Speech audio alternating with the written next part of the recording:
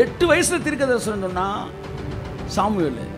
பதிமூணு வயசில் தீர்க்க தரிசனம் சொன்னால் இறைமையா எண்பது வயசில் ப்ராஃபஸி சொன்னால் மோசே.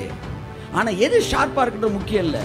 உன்னை ஈல்டு பண்ணிட்டினா உன்னை விட்டு கொடுத்தினா உன்னை நூறு வர் நூறு சதவீதம் விட்டு கொடுத்தினா இன்றைக்கே ஏற்ற காலம் வருகிறது என்று நான் சொல்லுகிறேன்.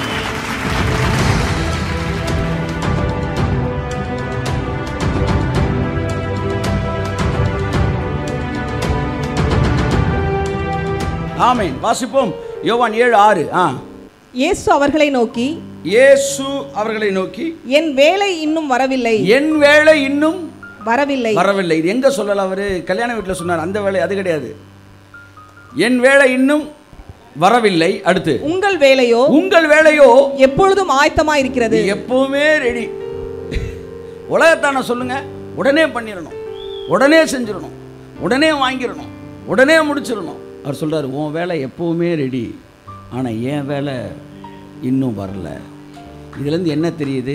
உன் வேலை வேற என் வேலை வேற. கைத்தட்டுங்க அவருக்கு. ஆமாம் ஆமாம் அது அமெரிக்காவில் இருக்கிற ஒருத்தர் பேசும்போது ஃபோனை வைக்கிறதுக்கு முன்னாடி என்ன நாளைக்கு பத்து மணிக்கு பேசுகிறேனேன்னு வச்சிடுறாரு. ஃபோனை வச்சுட்டீங்க. வச்ச உடனே யோசிக்கிறேன். என்ன யோசிக்கிறோம்? நம்ம பத்து மணியை சொன்னாரா? அவர் பத்து மணியை சொன்னாரா?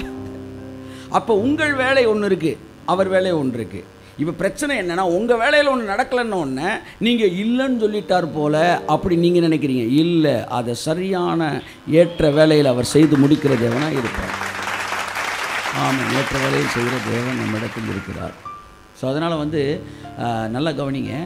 நம்ம வேலை உலகத்தான் வேலை எப்போவுமே ரெடியாக இருக்கும் சார் அது நினச்சோன்னே செய்யணும். பெருமையுள்ளவன் பேர் அதுக்கு பேர். பெருமையுள்ளவனை பார்க்கலும் பொறுமையுள்ளவன் உத்தமன் பைபிள் சொல்லுது. உடனே செய்யணும்னாலே அதுக்கு பேர் பெருமை. பரவாயில்லையா நிறுத்தி செய்வோம்யா? அப்படின்னு அதுக்கு பேர் பொறுமை. எங்கேயாச்சும் கல்யாண வீட்டில் போய் சேலையை பார்த்துட்டா உடனே இதே சேலையை வாங்கணும் அடுத்த நாள். ஒரு இதை வாங்கிட்டா உடனே அதே நகையை வாங்கணும். ஒரு வீடு வந்து வந்து உன பால் காய்ச்சலை தெரிஞ்சு தெரியாமல் கூட்டு போயிட்டா உடனே ஒரு வீட்டை கட்டிடணும். ஒரு ஊழியத்தில் உடனே ஒரு ஒருத்தன் நாலு பேர் சீடியை போட்டேன் உடனே அண்ணே நீங்களும் ஒரு இதை போடணும் ஒரு கூட்டத்தை நடத்திட்டால் உடனே கொடுக்கும் I am led by people not by the spirit of God ஆனால் அவருக்கு ஒரு டைம் இருக்குது ஆமேன்.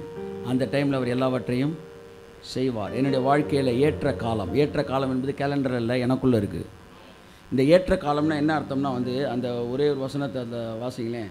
அந்த லேவியராகம் தான் வருதுன்னு நினைக்கிறேன். வாசிங்க. இருபத்தி ஆறு அஞ்சு. திராட்சை பழம் பறிக்கும் காலம் வரைக்கும் போரடிப்பு காலம் இருக்கும். பார்த்தீங்களா திராட்சை பழம் பறிக்கிற. காலம். அந்த காலத்துக்கு பேர் திராட்சை பழம் பறிக்கிற காலமா? அப்போ இப்போ நம்ம வாழ்க்கையில் ஆசீர்வாதத்தை பறிக்கிற காலம் இருக்குல்ல. அப்போ அதுதான் ஏற்ற காலம்னு வச்சுக்கோமே. பறிக்கிற காலம் வர வரைக்கும் நீ வெட்டியாக போன காலம்னு கிடையாது இந்த காலத்துக்கு பேர். திராட்சை பழம் பறிக்கும் காலம் வருகிற வரைக்கும் இந்த காலத்துக்கு பேர் என்ன? போர் அடிக்கிற காலம்னு ஒன்று இருக்குது இந்த காலத்துக்கு ஒரு ஸ்கெடியூல் வச்சிருக்கிறாரு. ஆ அதை நீங்கள் புரிஞ்சுக்கணும். இந்த டைம் வந்து அது வர வரையும் சுற்றிக்கிட்டு திருறான்னு இந்த காலத்துக்கு ஒரு ஒரு ஒரு டைம் டேபிள் வச்சிருக்கிறாரு. ஏன்னா இந்த காலம் கரெக்டாக முடிஞ்சால் தான் அந்த காலம் உள்ள என்ன செய்யும்? என்ட்ராகும் ஆமாம் இந்த காலத்தை கரெக்டாக நீங்கள் வந்து டைம் டேபிள் படி காரியங்கள் வந்து நமக்குள்ளே போகும்போது அந்த காலம் கரெக்டாக வந்துடும் உங்கள் அப்சர்வேஷனை பொறுத்து இருக்கு உங்கள் அண்டர்ஸ்டாண்டிங்கை பொறுத்து இருக்கு உங்கள் ஈல்டிங்கை பொறுத்து இருக்கு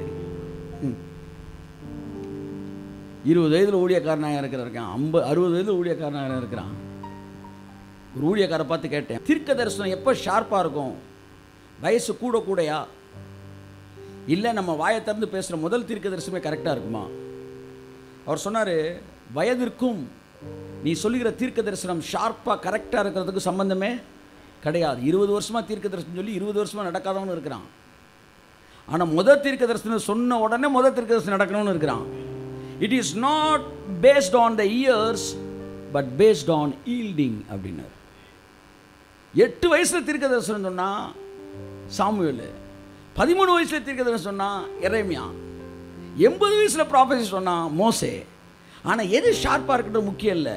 உன்னை ஈல்டு பண்ணிட்டினா உன்னை விட்டு கொடுத்தினா உன்னை நூறு வர் நூறு சதவீதம் விட்டு கொடுத்தினா இன்றைக்கே ஏற்ற காலம் வருகிறது என்று நான் சொல்லுகிறேன்.